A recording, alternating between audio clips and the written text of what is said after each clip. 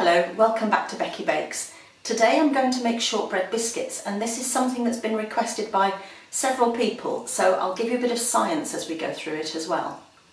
So in my mixing bowl I've got 125 grams of unsalted butter which is very very soft. It's been out of the fridge all night.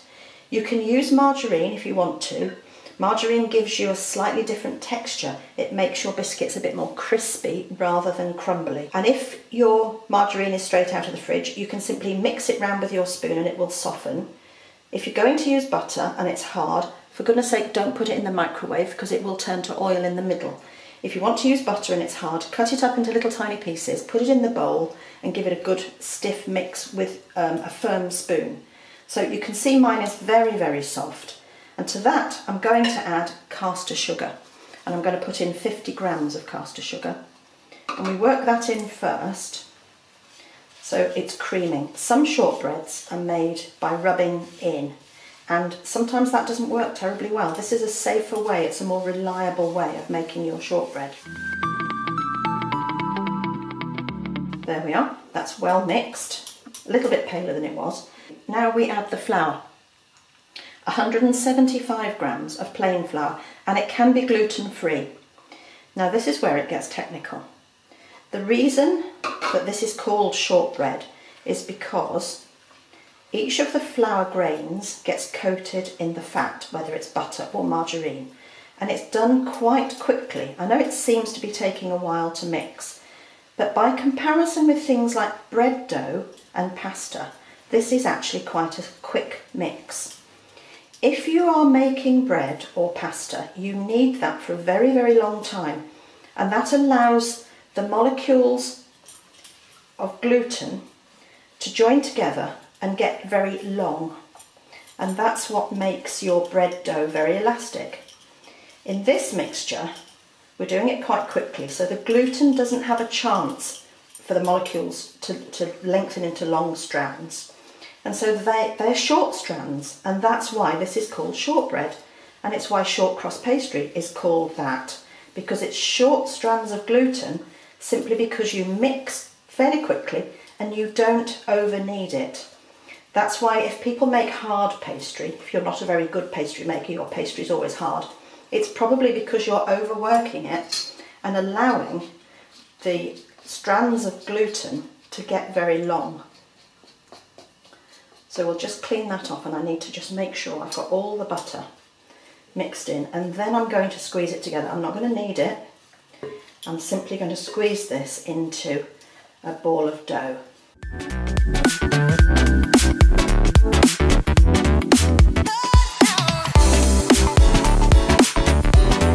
Right, looks as though it's beginning to clump together. So the next thing to do is put my hand in and squeeze it. Clean off the spoon and then just bring it together gently.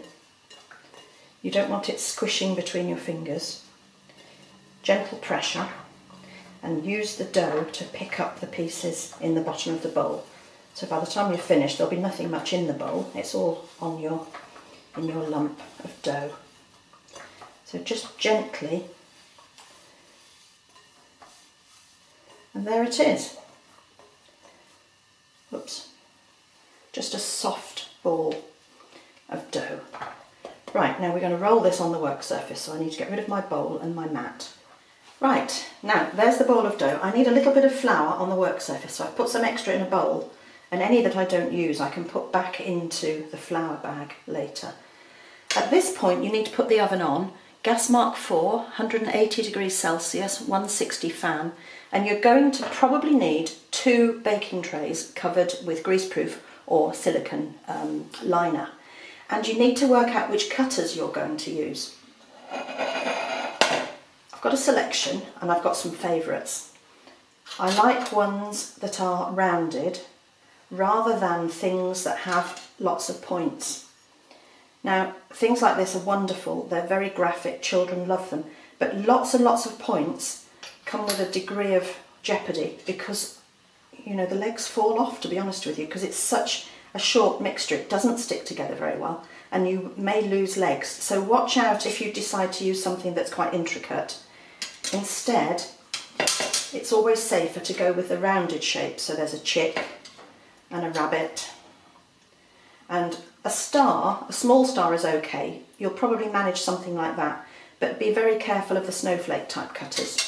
So I'm going to use my daisy because it's my favourite. And when you use it, make sure that you press down on the edge that's been turned over. The other edge is sharp, so get it the right way up, for goodness sake.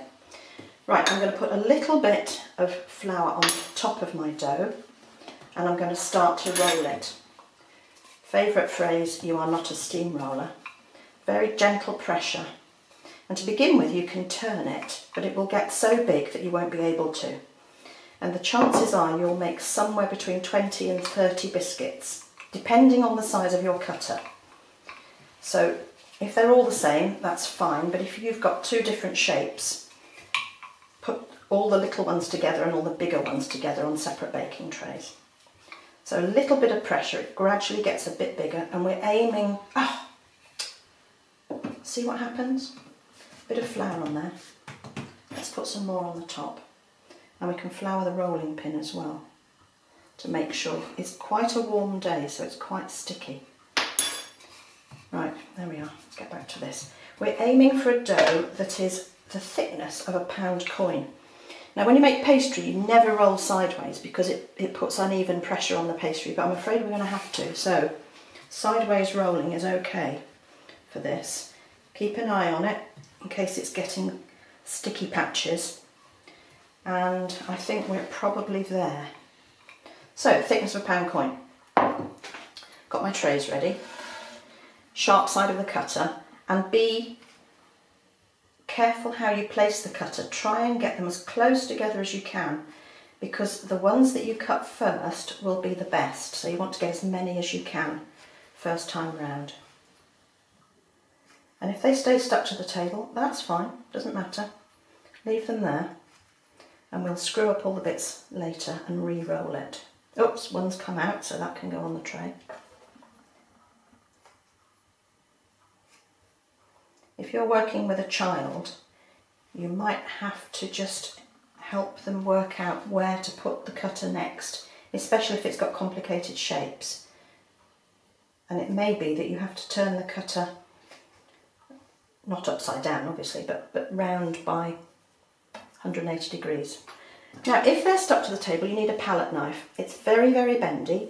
Um, painters use them to put oil on canvas and because we've realised that painters know what they're doing, we've taken them into the kitchen.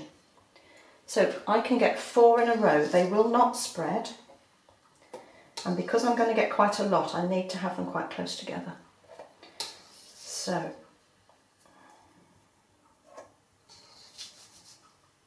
when you use your palette knife, press it right down so it's absolutely flat on the work surface. And you just have to kind of scrape the biscuit off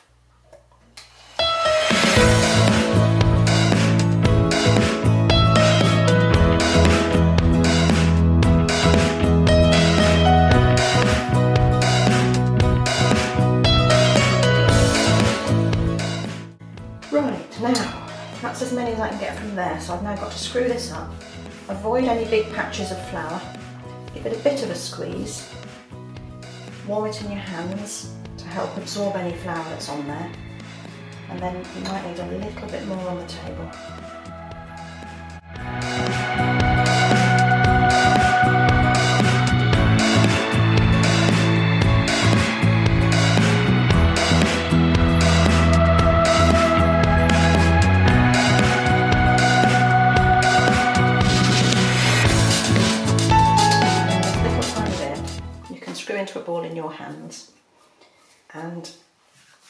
Will stick you can just flatten it out and make it into just a little round one so you don't waste it. There we are.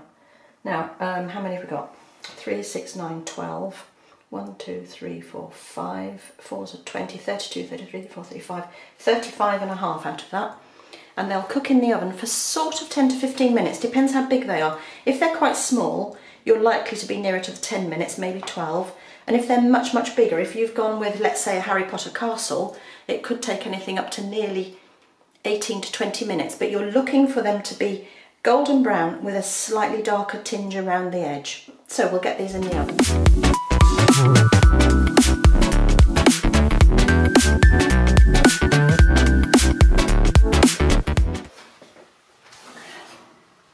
Now the first tray is done. I'll just move the second ones up.